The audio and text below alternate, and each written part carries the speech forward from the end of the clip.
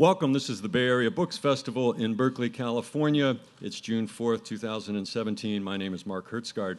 I'm with The Nation magazine, and we are one of the co sponsors of this event. This is the session on race and resistance in the Trump era.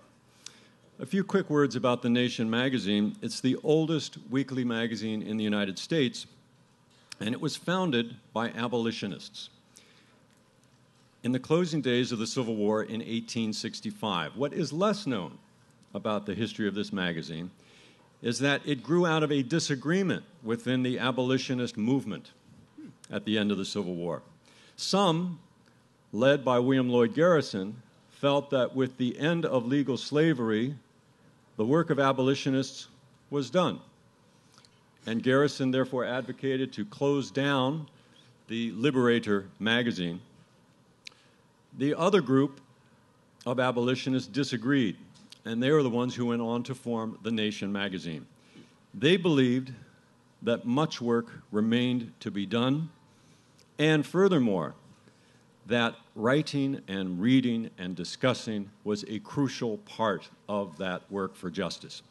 So it's in that tradition that we're gathering here today. And since that time of 1865, I'm very proud to say, as a uh, writer at The Nation, constantly feeling very uh, inspired by this fact. We've had some of the greatest thinkers and doers in this field writing in our pages. Giants such as Martin Luther King Jr., W.E.B. Du Bois, James Baldwin, uh, Amiri Baraka, and on and on, Toni Morrison, fiction, nonfiction as well. And so today, the session that I'm uh, very pleased to moderate here today with you follows in that same tradition. We are bringing together thinkers and doers, people who do the cultural literary work, people who do the organizing work, people who do the electoral college voting work, people who do the journalistic work. And we're going to talk about how all of that comes together in this very fraught moment for our country. As we all know, we now confront a new president, who gained office despite, and in fact, partly because, one could argue, of his unabashed racism. So, what is to be done in this moment in June 2017 as we gather here in Berkeley, California? One of the advantages of working for a magazine that has 150 years of history is that we see today's events in a larger, longer historical context. But without for one instant forgetting what Martin Luther King Jr. called the fierce urgency of now. So let me now introduce our panelists. I'd ask you to please hold your applause until I've introduced all four of them. to your uh, far left here is Alicia Garza. You will know her, of course, as one of the co founders of Black Lives Matter. And her book, uh, which is forthcoming, it's the working title. She wants me to emphasize that. It's not sure that it's going to stay the title. It's coming out uh, later this year from One World Random House. The working title is How to Turn a Hashtag into a Movement. Directly next to her, between us, Walter Mosley, one of America's greatest novelists, and I must say my own personal favorite novelist for many years now, uh, author of many books uh, most recently, though, a monograph, uh, a, a, nonfiction book called Folding the Red into the Black, uh, or subtitled Developing a Viable Untopia for Human Survival in the 21st Century. Next to me, to your right, is Mr. Steve Phillips. He's the author of Brown is the New White How the Demographic Revolution Has Created a New American Majority. And like Alicia, he is a local Bay Area guy. You grew up in San Francisco, I think? Uh, I grew up in Cleveland, Ohio, home of the Cleveland Cavaliers. ooh, ooh. Now you got you got you got to bring that right before you're even formally introduced. and Alicia grew up in Marin, so um, Brown is the new white. Steve Phillips, and to your uh, this end of the table to your right is my other nation colleague, Joan Walsh. She's, of course, a commentator on uh, MSNBC. She is now the Nation magazine's national affairs correspondent. And her book is called, latest book is called, What's the Matter with White People? We are definitely going to get into that, Joan. So um, I am so pleased and proud and honored to be able to call all four of these extraordinary individuals my colleagues at The Nation magazine.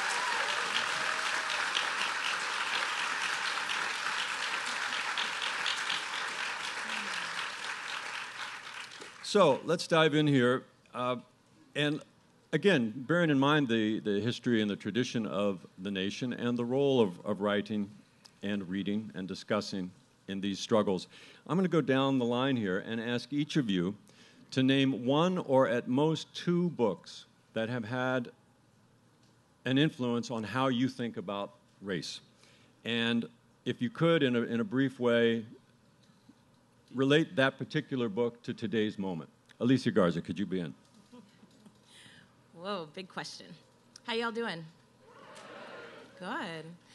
Um, so, two books. So, one book in particular that I think has formed uh, a foundation for how I think about both race and resistance and movement building uh, is by W.E.B. Du Bois.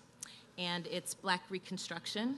Uh, and he's looking at what happened in this country uh, after the kind of devastation of the Civil War and the period where we were trying to uh, figure out how to do it better. And in that really comprehensive uh, narrative, which, if you don't know, he actually wrote uh, in the basement of a library that black people were not allowed to use. Uh, he talks about uh, the, the ways in which, in particular, white working class people during that time uh, decided to form an alliance uh, with those who were more powerful rather than forming an alliance with those who had uh, technically just been emancipated, but certainly uh, with whom they shared many more uh, interests. Uh, and I would encourage you to read the book. It's like a zillion pages, but it's absolutely worth it. And I think what's interesting about that book in particular is that it has resonance for today when we talk about what it will take to form a resistance, not just to the Trump regime, but to Trumpism overall, right? Um, it's really important that we understand the role that race plays uh, in weakening our ability to actually have a functional, vibrant democracy. Uh, the second book that I would uh, just kind of name as foundational, although there's zillions, uh, would be uh, this book by uh, it's called, I'm sorry, uh, the book is called The Half Has Never Been Told uh, by Edward Baptist. And it is about the makings of American capitalism on the foundation of slavery and genocide. And in that book, he, he details in, in uh, ways that I think are profound uh, all of the ways in which enslavement in this country and chattel slavery has literally shaped every every bit of the foundation of this country. Uh, whether it be through commerce, whether it be through our social relationships, whether it be through the ways in which our economy is structured. He really breaks down how those things persist today. And we today talk about slavery as if it's a thing of the past, rather than something that persists and endures today, and quite frankly, weakens the potential of what the promise of this nation is, which is freedom and justice and equality for all. That's Alicia Garza, co founder of the Black Lives Matter movement. Walter Mosley, one or two books. Uh, you know, I, I, don't know. I mean, uh, yeah, I, I, don't. I, I don't think I'm not. I don't. I'm not thinking like that. I might think like that, but I'm not thinking like that. But w- so what I'm going to do is I'm going to mention two people. Um, the, the first is, is Gwendolyn Brooks, who um, some years ago I was a long time ago I was, I was at her house with Hakeem Madhubuti, if you know him, and, and we were talking, and, and she and she turned to me and she said, you know, June Jordan called me yesterday, and she said she wanted me to sign a, a petition uh, getting angry at the National Book Award for not giving Toni Morrison the award for Beloved. Now, of course, she deserves every award that you want to give her, but why do I want to beg those white people for their awards? we need to have our own awards. And I was like, wow, okay. Yeah, because, you know, I mean, they didn't ask me to sign the thing, but I probably would have signed it, you know. But, but to have that, that level of thought. And the next thing was, I was, uh, I, I don't know, like, I mean, anybody who knows Amiri Baraka, knew Amiri Baraka, like listen, I mean, poetry just kind of leaked out of him. You know, it, it, he didn't have to be reading or writing a poem. One day, I, I was listening to him talk in this in a small group somewhere, and he was and he said, um, "It used to be, I could go down to the corner and listen to jazz. Now, I got to go to another man's neighborhood and pay him to find out what I got on my own mind." And and I, and I think that I, those are examples of, of how, in, in, a, in a pedestrian way, that so many people do so much. You know, I mean, people who are not, who are, you know, who are not like you know uh, uh, necessarily leaders, who are not uh, people who are who are are, are, are, are, are, guiding a movement and and you know mistakenly being called leaders while you know which is you know kind of decrements everyone else. But people who say this is the way that we need to think about our lives and this is this is the lives that we are facing. And you know and i find that mostly with poets. And i and i really i really enjoy it like because th- what they do is they take the poetry out of everyday life them etheridge knight some really great people That's Walter Mosley. Steve Phillips. Thank you. Uh, it's a great question. Um, I appreciate the chance to go third to think about it for a minute. um, but I think I would say two. The one is uh, Invisible Man by Ralph Ellison, which actually also invokes for me the current movie um, Get Out, and the pieces that I tie together in that in my mind, which I do think ties into U.S. politics. Actually, I wrote a piece for the Nation in November highlighting the need for new leadership in the Democratic Party in this country and how every single large entity that had budgetary control of more than $30 million, adding up to a billion and a half dollars that was spent, every single one of them was controlled by a white person. And so the, the, the Invisible Man piece is this part where he's going, he, the, one of the, the guy gives him this letter and says, Don't open this letter, but give it to all these different people see if you can get a job. and then he eventually, somebody tells him that the letter says, Keep this nigger boy running. And it has always been in my mind, and that that to me does tie into this whole piece around get out and who actually has the keys and are people who pretending to be your friends actually your friends and who actually has power and control. And so that has really shaped a lot of my thinking on one piece. And then related another piece is uh, james baldwin well his constellation of writings on the, the price of the ticket but in particularly his essay around uh, sweet lorraine um, about lorraine hansberry um, and when she heard her first uh, uh, her success on Broadway, and I think I actually quote uh, Baldwin in my in my book where he has this statement about he had never in his life seen so many black people in the theater, and that is because black people had ignored the theater because the theater had always ignored black people, and so I always thought that was a excellent example of cultural competence. And when you put forward a resonant, powerful cultural message, people will respond and come out. And I do not think it's accidental into trying that in today's political situation and, and road forward, that when we have had an inspiring, culturally competent African American on the ticket, we have won. And that that is, and that when we did not, we had a million and a half black people not come out this past year. So looking towards the future, I think there's lessons from both of those um, to, look, to learn from. Steve Phillips. Brown is the new white. Now, Joan Walsh. Uh, all right, I, get to go last, which is great, but it's bad because I would have said uh, Invisible Man. But instead, I'm going to cheat and, and uh, talk about Taylor Branch's three part trilogy on the life of uh, Dr. King. And there's so much about it that's important. Uh, but I, I think uh, what really came through to me, and, and I learned this again and again uh, watching, doing the work we do, watching the work we do. Uh, that we look back at that time and at those leaders as though they were incredibly, they were geniuses, they had all the right answers, they knew what they were doing, and progress just unfolded naturally and, and seamlessly, uh, you know, with a bump here and there, and, and you know, uh, dogs and fire hoses and lots of bad stuff, but that there was a through line.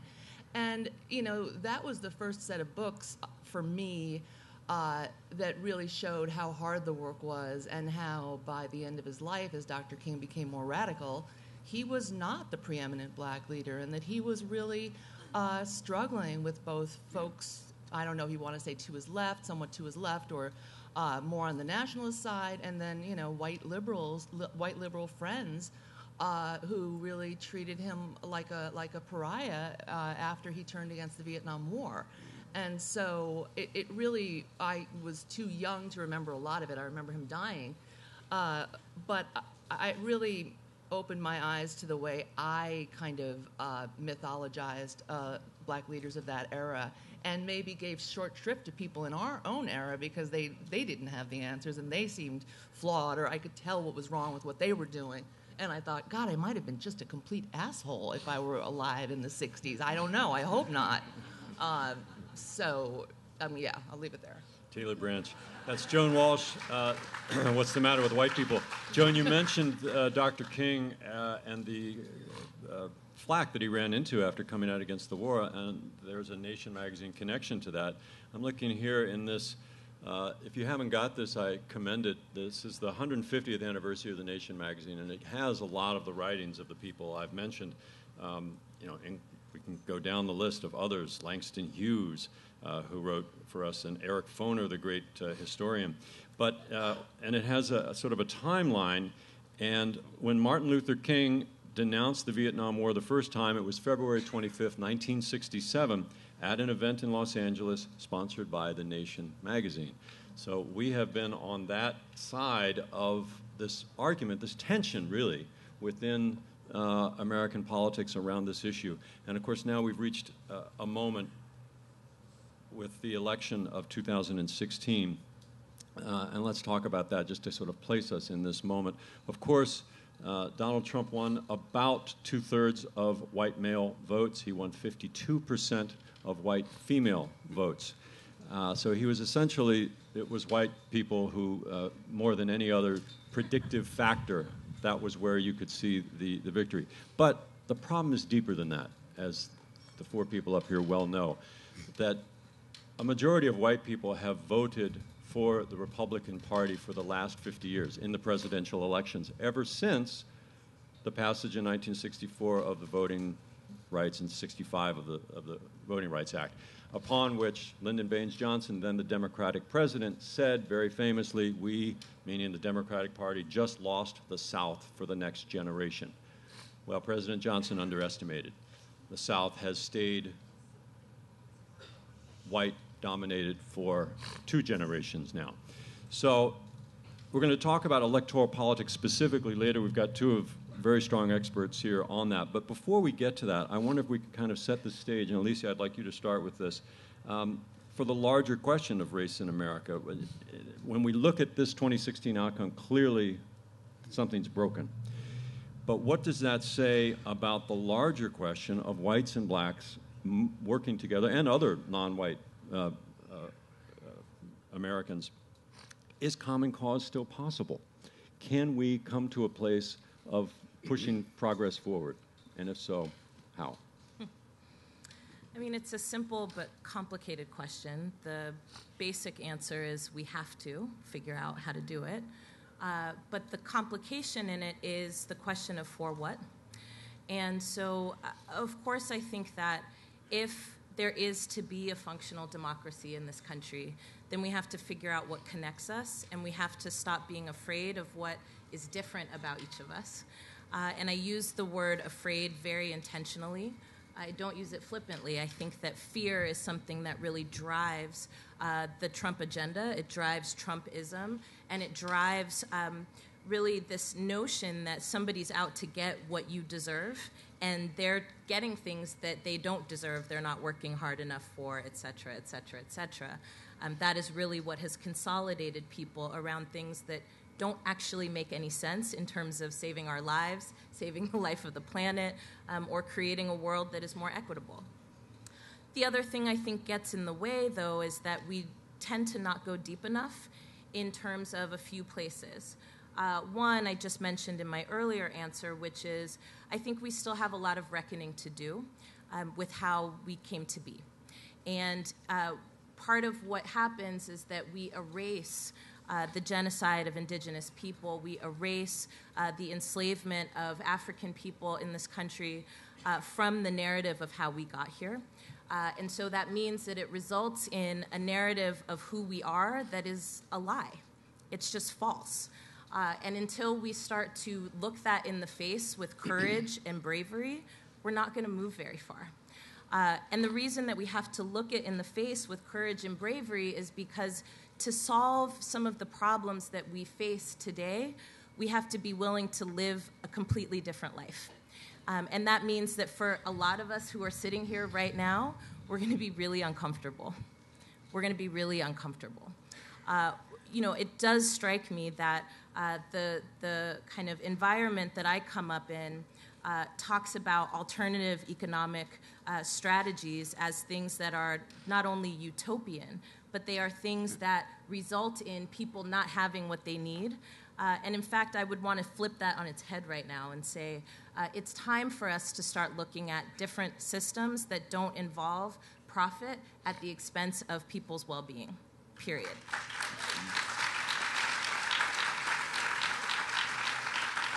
with that being said, uh, we did have candidates in this last election that tried to point to those alternatives, but did so in a way that completely disenfranchised black people, brown people, uh, people who um, are working class, right? We're, we, we in, instead of really diving into some of the complications of what it would mean to redistribute wealth in this country in an equitable way, we said, well, let's redistribute wealth amongst white people.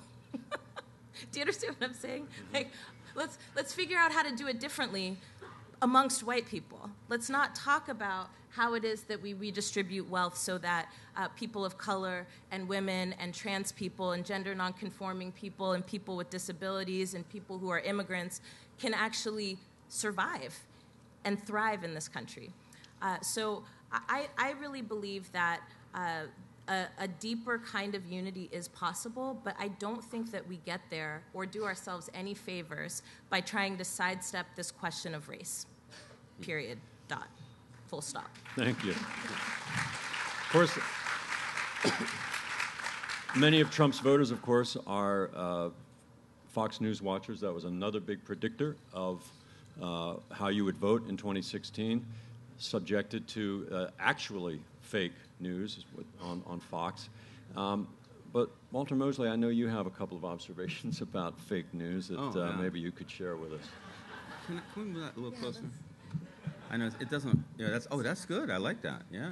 Um, I, when he was talking, you know, I, I was I was on this uh, I was on this panel with these five journalists, you know, a few months ago, and and and you know they were, I mean, it so happened they were all white journalists, but the guy interviewing us was a black guy. But but but they were talking about like fake news, you know, which you know I, I kind of want to talk about her question in a minute. But but I want to say this first that and and they were saying you know Trump is saying fake news and Trump is saying fake news and and you know we're all like you know supposed to look a certain way and feel really bad about it and stuff.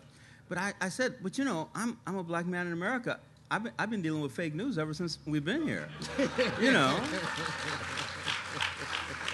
I mean, like the idea of, you know of that fake news can't exist and that and what can we do to support the, the, the systems that exist that, that you know distribute news you know uh, through commercials uh, is like ridiculous. I mean it's like yeah it's fake news. It's all fake news. I remember walter cronkite talking to me about vietnam when i was a kid you know?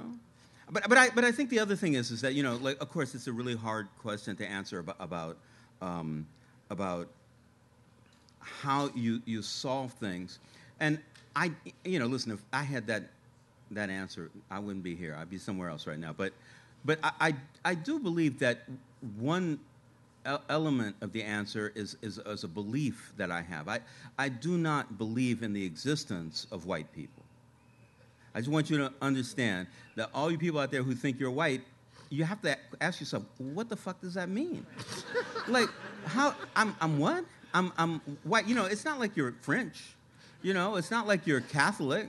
You know, it's not like you're a pygmy. I mean, I, I understand a pygmy, you know, but but to say that that you're white and then to believe it and not want to let it go and believe it no matter what, no matter how much you can say the, the physical things are different, the hair color is different, the eyes are different, the language is different, the religion is different, the culture is different.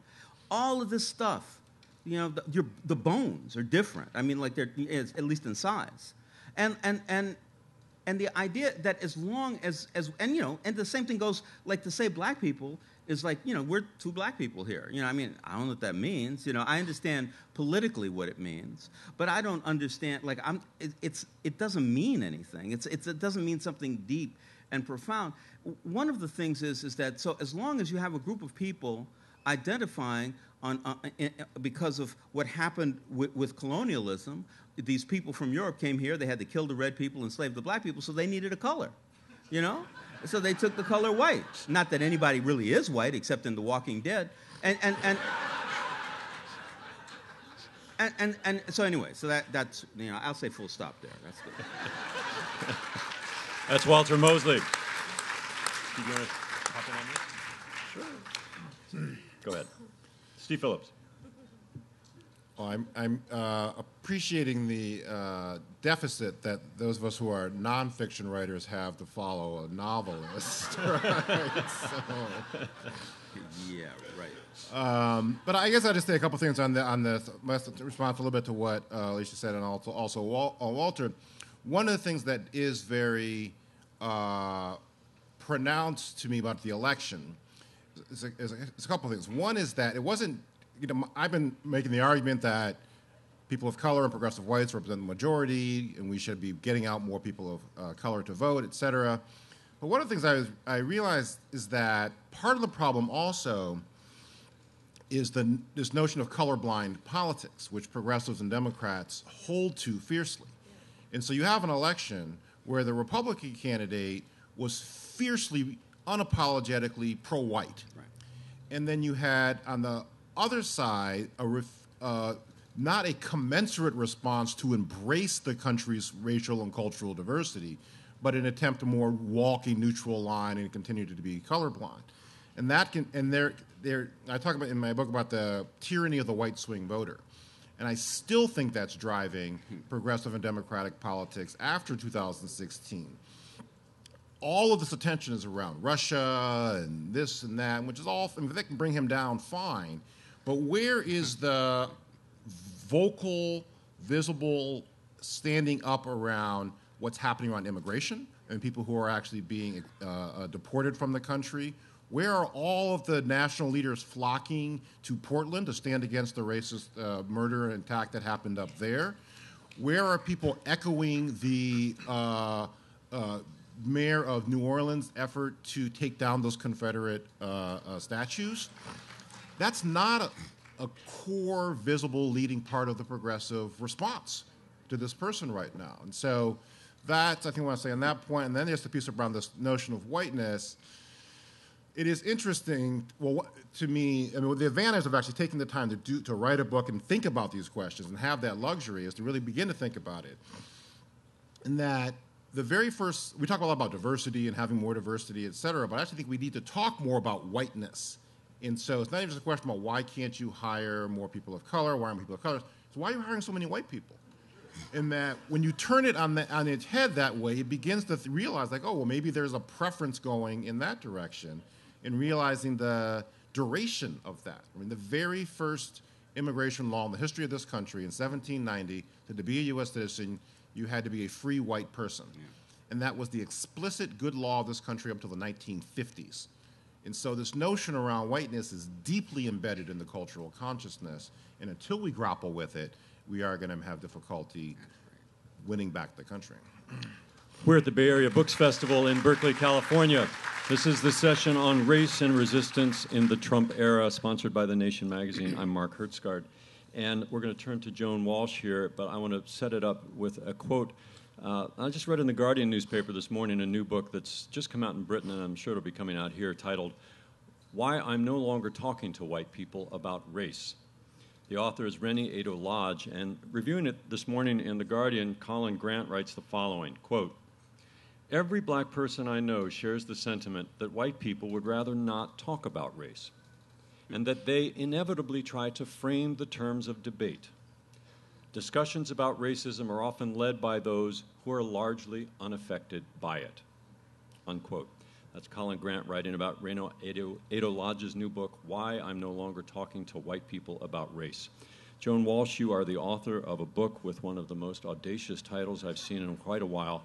What's the matter with white people? So, Joan, tell us, what is the matter with white people that they elected this guy who, I mean, what do you say?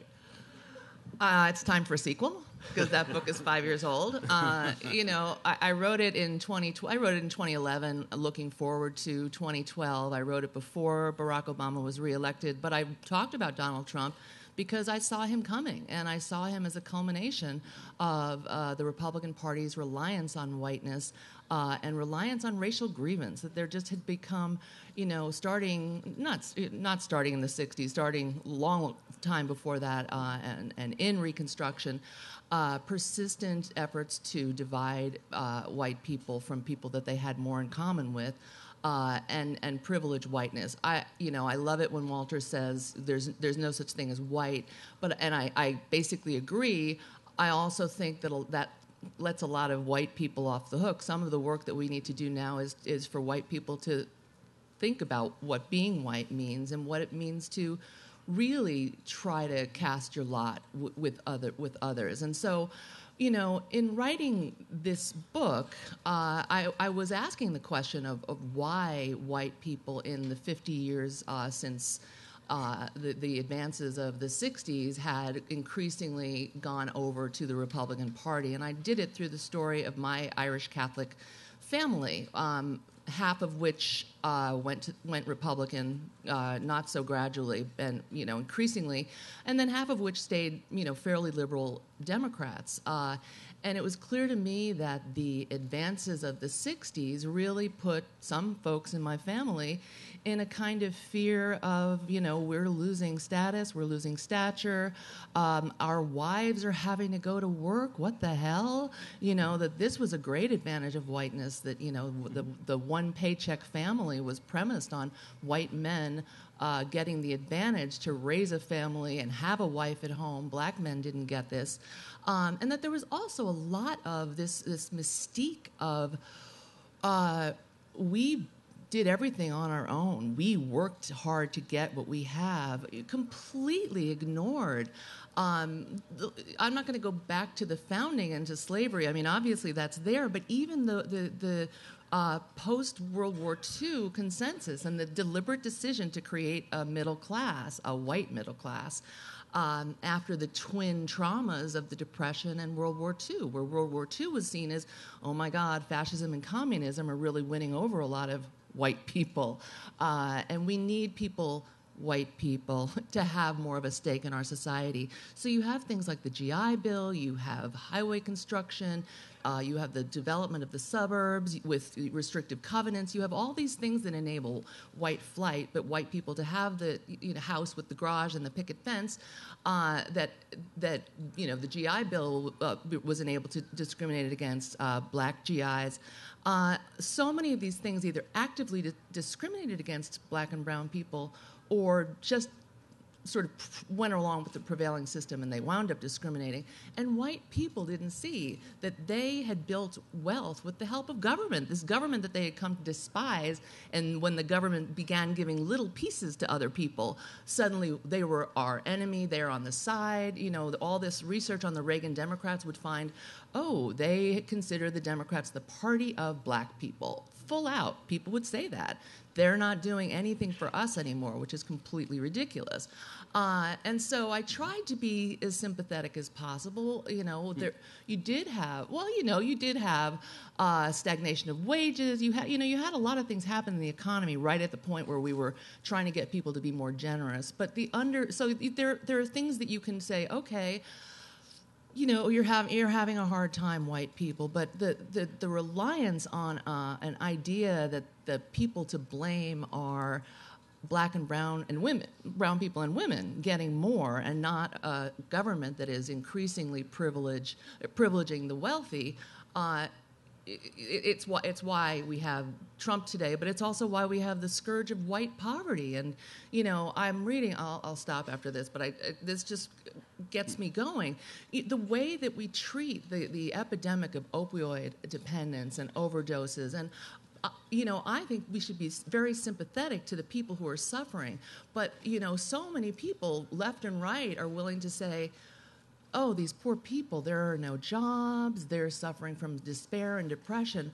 But when heroin overtook the cities in the 50s and 60s and 70s, or, or crack overtook the cities in the 80s, there was no, oh, there are no jobs, these poor people, let's get them jobs, let's get them medical care, let's treat it as an addiction, not as a crime. I mean, I do think Jeff Sessions, one good thing about him is he's going to bring uh, a lot of us together because I think he will treat he will treat the white opioid addict and, and dealer, et cetera, uh, with harshness. And Trump's Medicaid cuts will remove opioid treatment uh, from some of these communities that think that they're Trump fans. So, you know, the carnage we're about to see, uh, I use that Trump word, but this really will be carnage. Uh, you know, again, with me, Hope Springs Eternal, maybe it will bring people together and see, oh my God, they're after both of us. They're after all of us. That's Joan Walsh, author of What's the Matter with White People.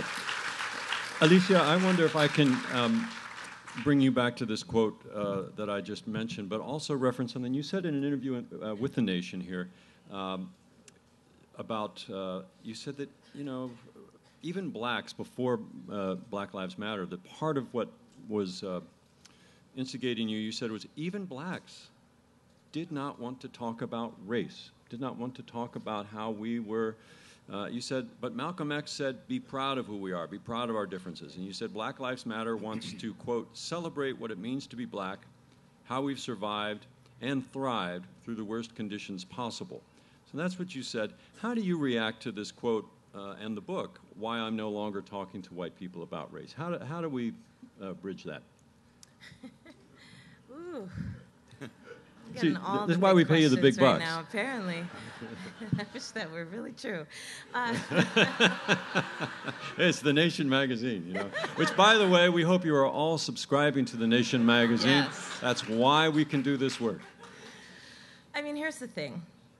Uh, I I feel fundamentally that uh, we have to understand that race is certainly more complicated than black and white, um, but it does operate on a black-white spectrum. And so when I talked about uh, the fact that there are black people that don't want to talk about race, that's absolutely true. Uh, and if we were to look at uh, the tenure of President Obama, he had a really hard time uh, being front facing about the dynamics that still persist in this country. Now, I don't necessarily fault him for that. I think it's a, it's a challenging place to be in.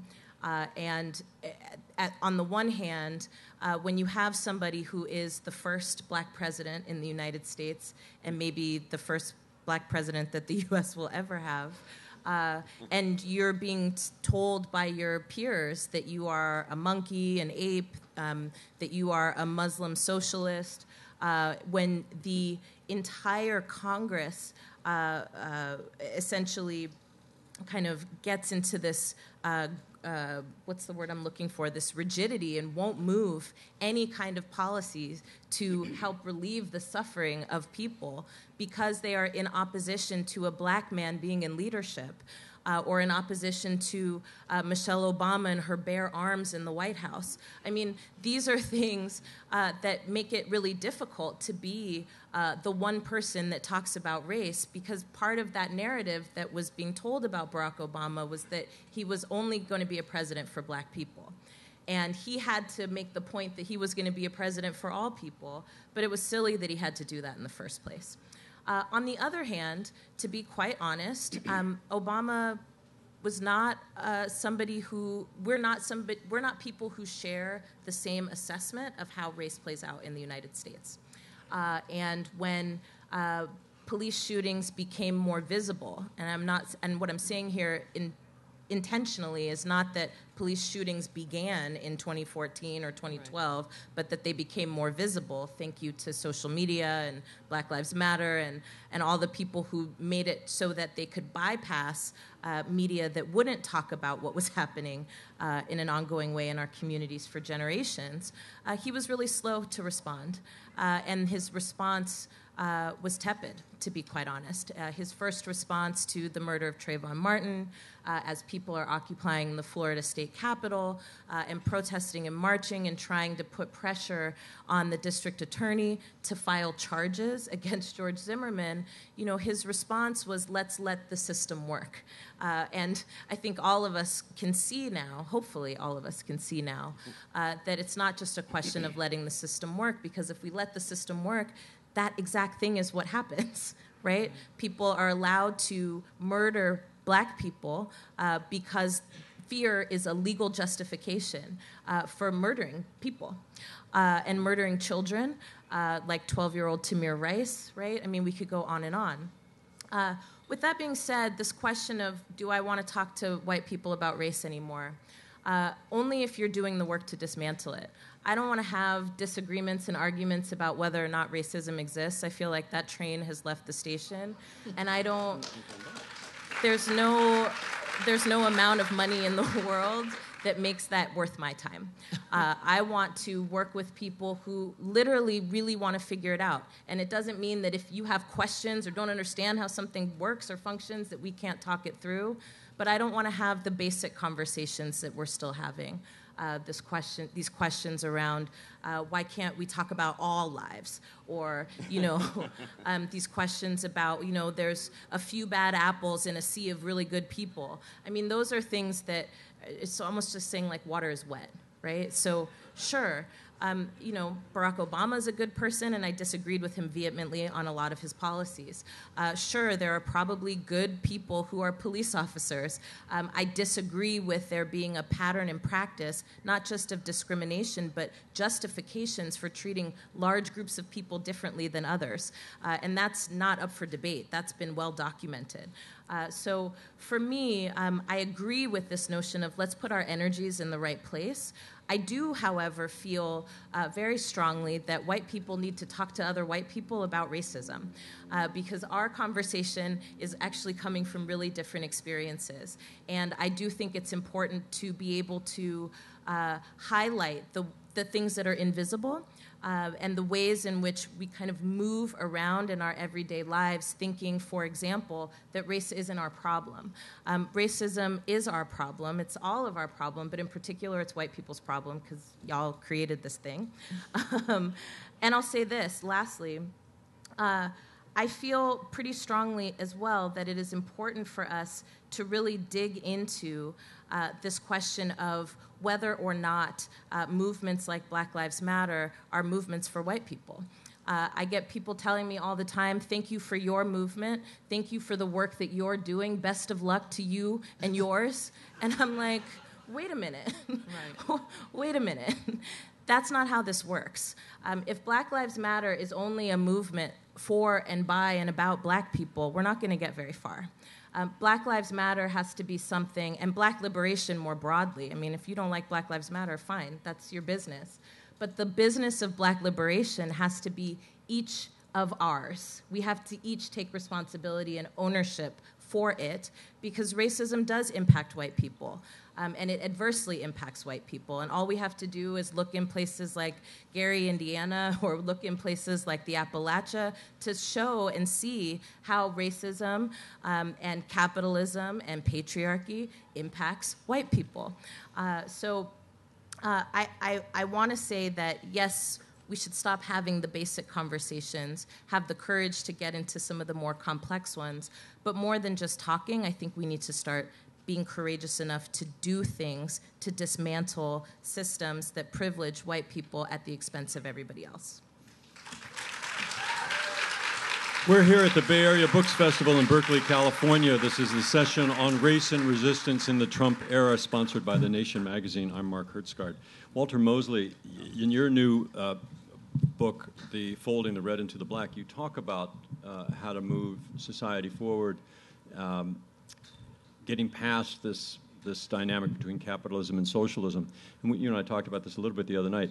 But race was not a big part of your analysis of, uh, of this kind of big, the big political shift. So I'm hoping in, the, in our final few minutes here, before we go into questions, we can talk about this dynamic between the short-term immediate need to resist what's coming from the White House, the medium uh, need to prepare for the 2018 and the 2020 elections, and then the longer-term urgency of what Alicia you called building black power in this country. So, Walter, why, why was race not a part of, of the analysis that you put in this uh, new book? Um, that's, that's an interesting thing. I mean, I, I, I, wrote a book called Folding Red into the Black, you know, and, and, and the, the, the notion of, of, of, the book, it's a monologue, right? So it's not like I, I, have the answers for everything, but, but, but it was thinking that, you know, you have the two big isms. You have capitalism, you have socialism.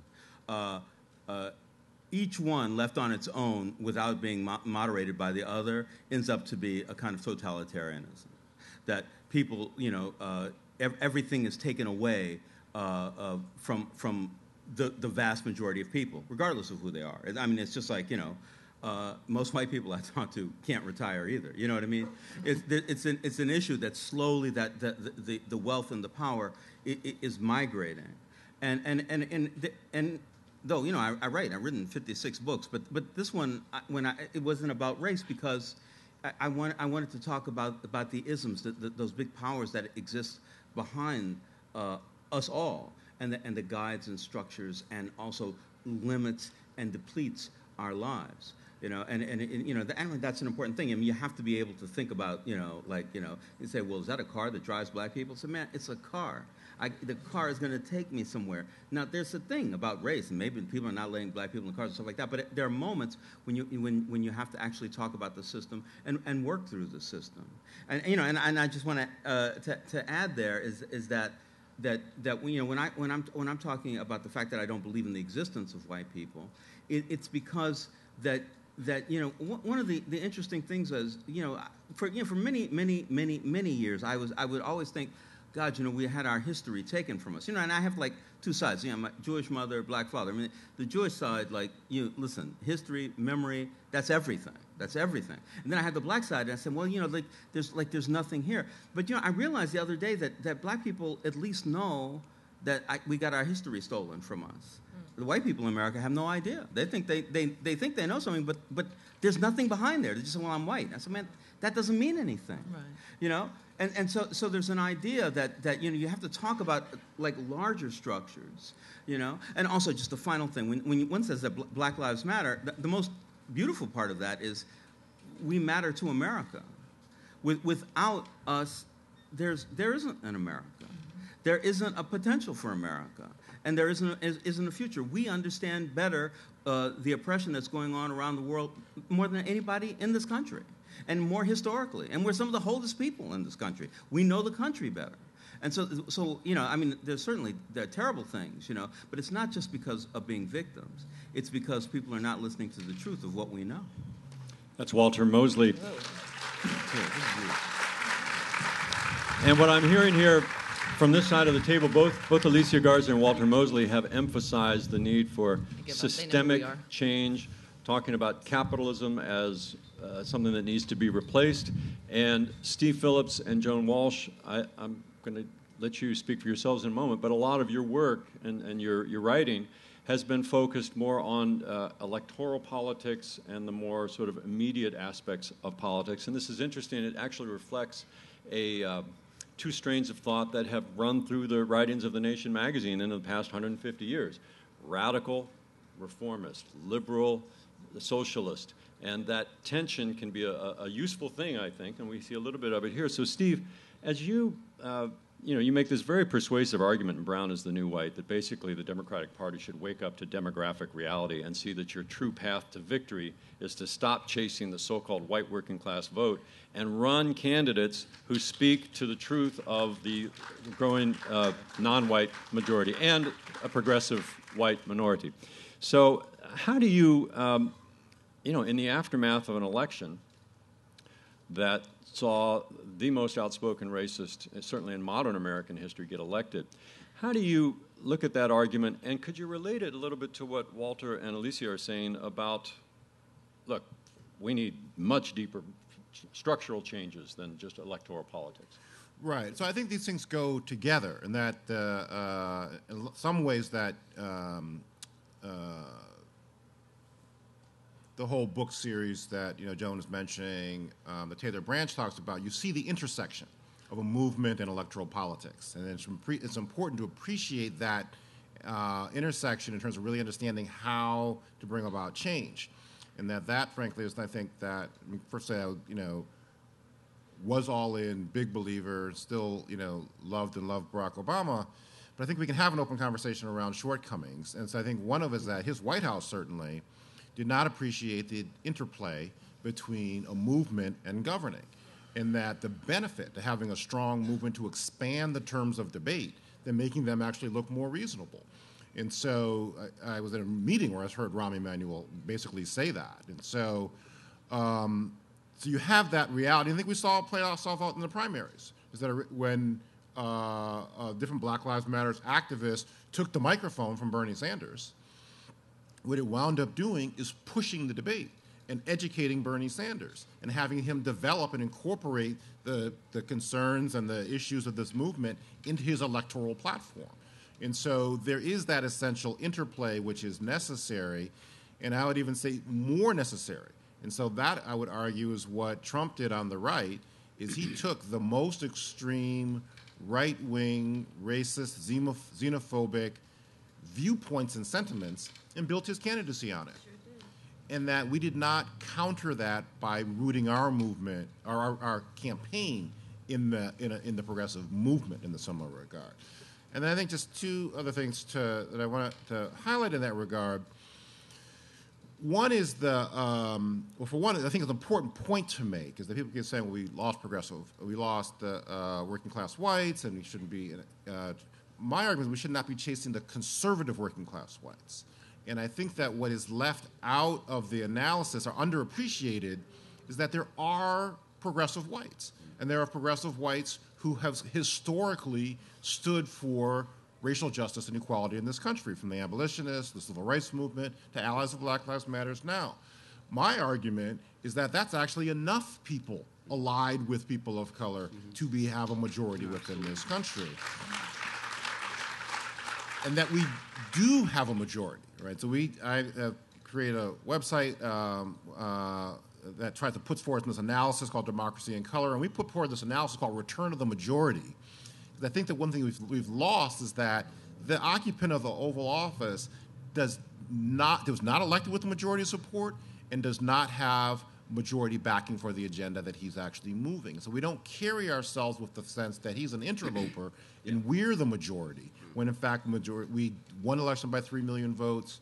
There was a diffusion of progressive votes, and that allowed him to actually slip through.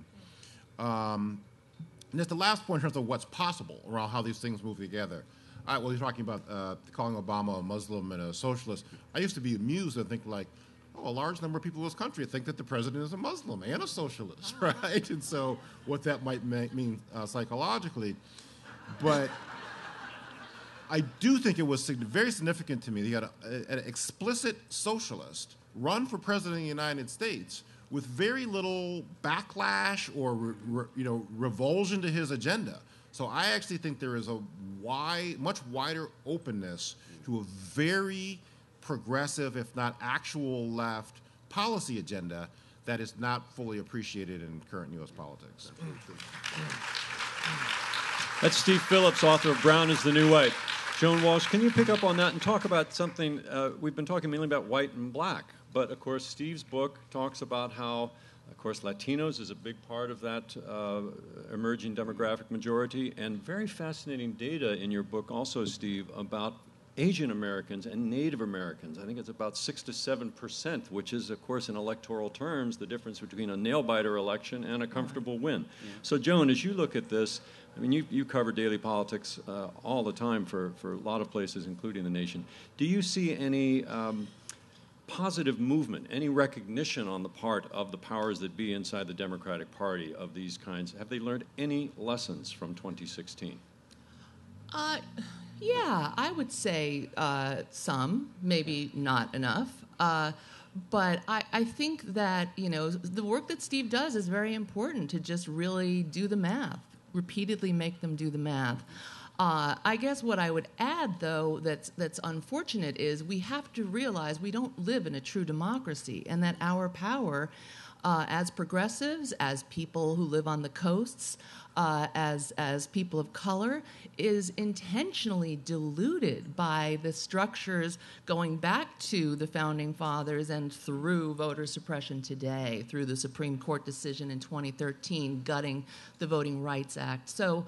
Uh, we are very disadvantaged uh, by these by these systems, so that Hillary Clinton could win three million more votes. But our votes in California, I live in New York now, they don't count the same way that a vote in Idaho counts. Uh, and that is really troubling. Uh, and it does mean that we have to. I, you know, when I wrote my book, I, I just wrote something for the American Prospect that was kind of like challenging my book, challenging myself, because part of my book, What's the Matter with White People, had several meanings, but one of them was, and I was very overt about this, what's the matter with white people? We need some of them anyway in our, you know, multiracial progressive coalition, and I would still stand by that. Steve stands by that.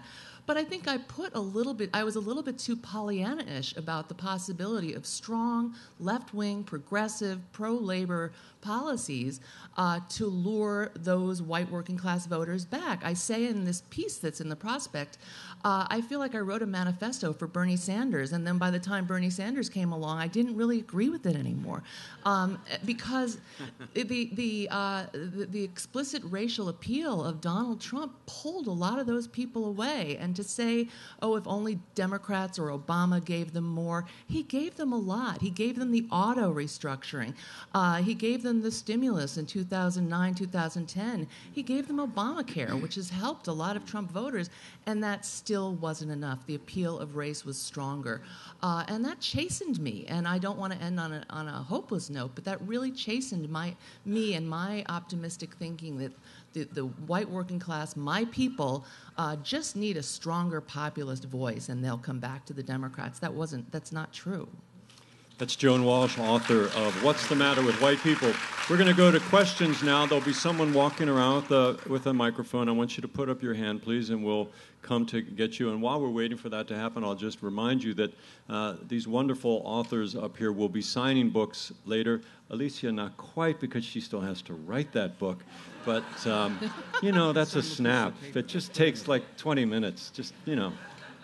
Uh, so that'll be back here in about 20 minutes, and uh, we're going to have about uh, that long to uh, ask questions. And the microphone is here, and I'll just remind people one more time we're at the Bay Area Books Festival in Berkeley, California. This is the session on race and resistance in the Trump era. And our first question, please. I wanted to follow up on what Steve Phillips said about the asymmetry of the last election, that the Republicans are the party of white people. And, Put the mic closer to your mouth, and, please. And uh, is part of the problem, in, in fact, that I mean, uh, the devil's advocate response to, to your position for the Democrats is that people of color, voters of color, are stranded because they only have one party that's not completely hostile to them. And that's the argument in favor of pandering to white voters because voters of color have nowhere else to go. So tw- 20 years ago, I would have said the first, first black president would be a Republican. Doesn't look like that's going to happen now. So do, do voters of color need another party or another option? What's uh... Steve Phillips? Um, you know, you can always make an argument. I, I came of age in the Rainbow Coalition, and I've been on a mission. I still think it's the right and appropriate to, to take over the Democratic Party, and we're actually seeing different parts of that happen. There are going to be strong, progressive people of color running for governor of Florida, Georgia, Maryland, uh, Arizona in 2018. And so that's representing to me the next the, the level um, of leadership in that direction. The other piece I think that has to happen is we need political leadership, and particularly campaign operatives and consultants, who have cultural competence and comfort in talking about race. And so that is more of what the problem was. This person in the White House ran a campaign saying, White people come with me and let's take our country back. And the Democrats responded by saying, well, he's unfit. His, he's untemper- he, he has a bad temperament. We did not draw a line in the sand and say, no, we're going to build a multiracial country that embraces and includes everybody. and summon white people to be better and to rise to their highest selves. And that when that did not occur, people were able to defect in, en- in enough numbers to be able to, to, to send the election. If it's a question of him being temperamentally problematic, then that's something's wrong with him. If you define it as that's the campaign of the racists and the xenophobes, there's something wrong with you if you're with that campaign. And we did not have leadership in the Democratic Party and progressive movement able to make that argument in a way that is effective.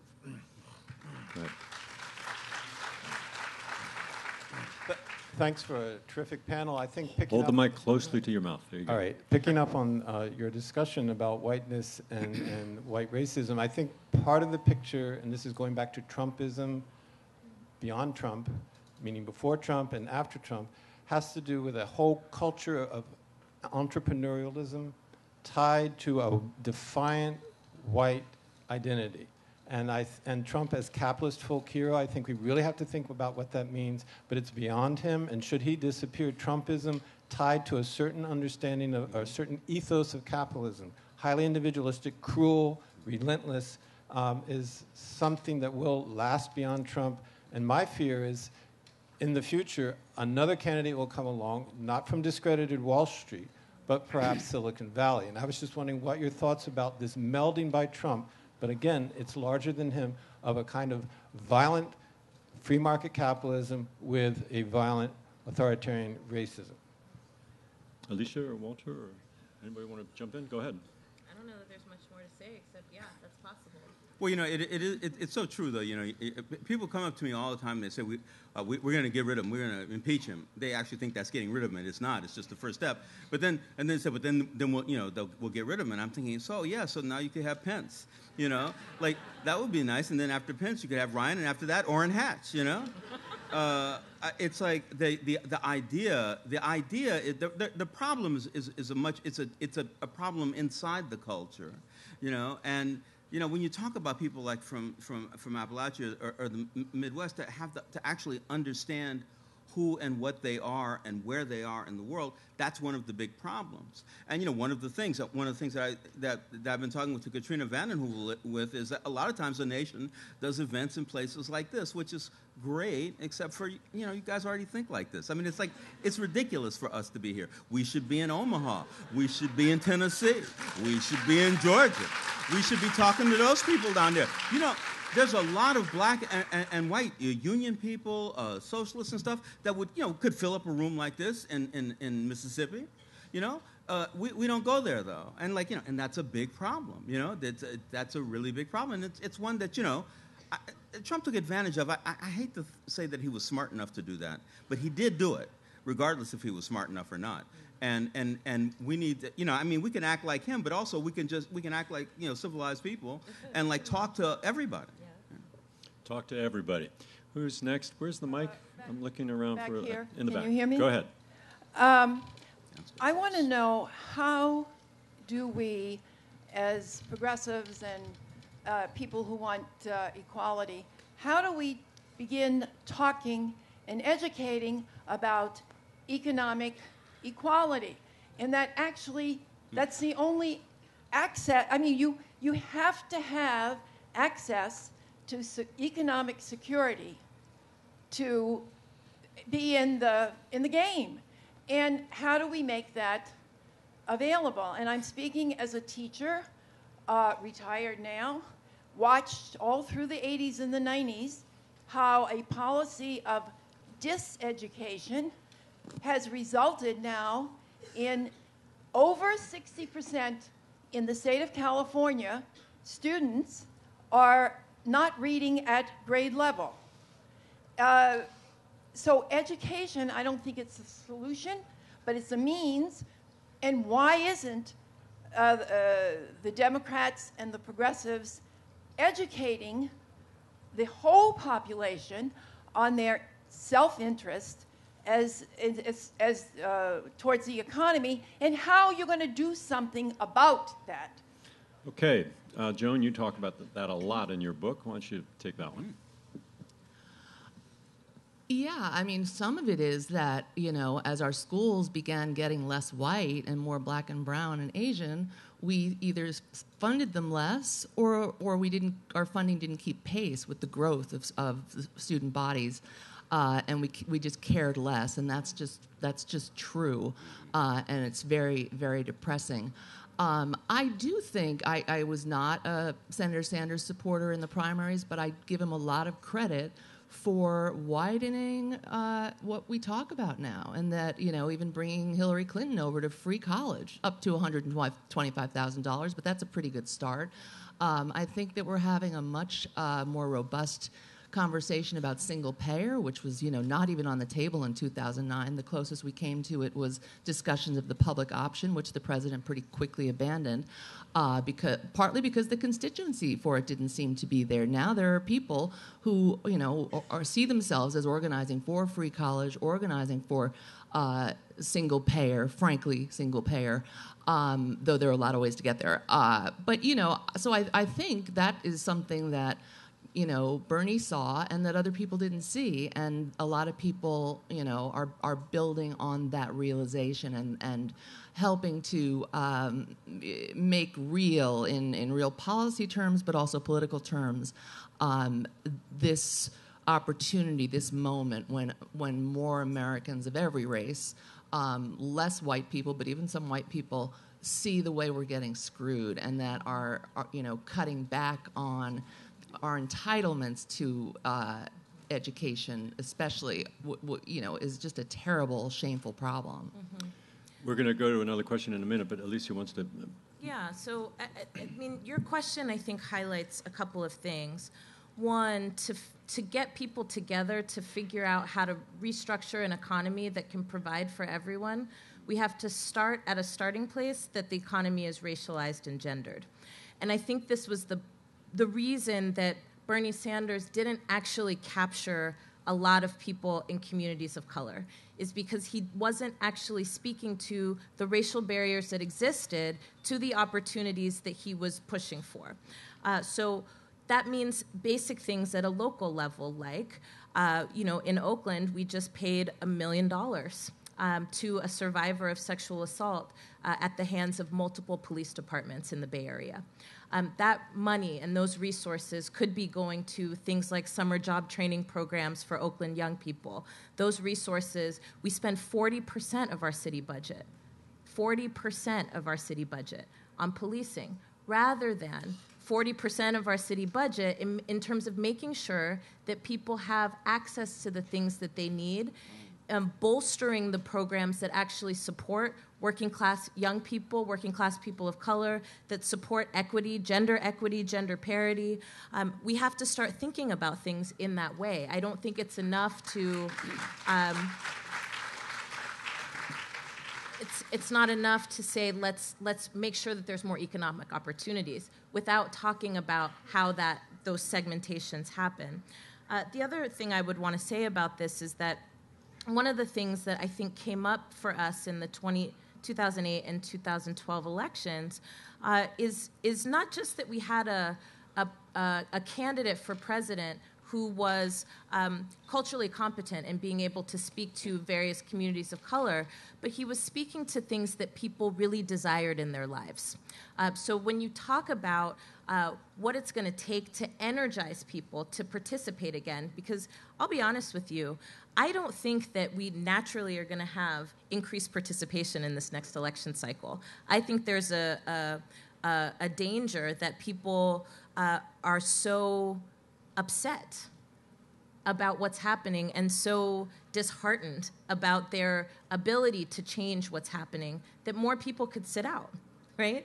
The way that we counter that is by really actually organizing, not just talking to people through TV screens, like Steve has said, but actually talking to people about what it is that they want and deserve, and then activating people to do that, not just through voting for president, but reshaping the ways in which uh, our resources are being distributed at our city level and at our state level. That's a great place to start to exercise power, and in fact, uh, to be able to kind of be a model for what's possible around the country, right? We do still have a lot of uh, influence over what's happening in our cities and what's happening at our state levels. And I'm really excited for Trump to talk about cutting California off from federal funding. I'm Yeah. excited about things like Yeah. that because I think that there's an opportunity there to start to link up with other states like uh, New Mexico and like Washington State, folks who are trying to do progressive things and say, hey, let's actually do it differently. We don't need to wait for you. We just need to show, not tell, that what we're doing is better than what they're doing.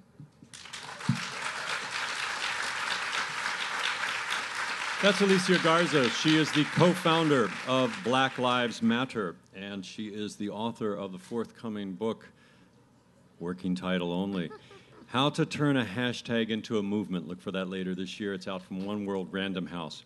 Next to her is Walter Mosley, the author of 56 books, including Folding the Red into the Black, uh, and a uh, just an eminent American novelist. I commend all of his books to you. Next to me here is Steve Phillips. Brown is the New White. Another book, if you want to understand 2016 and 2018 and 2020, this is the book you need.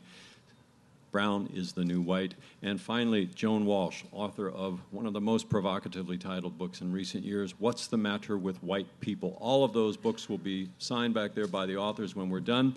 I'll just say thank you here on behalf of the Nation magazine. We're at the Bay Area Books Festival in Berkeley, California. This has been Race and Resistance in the Trump Era. I'm Mark Hertsgaard. Thank you very much.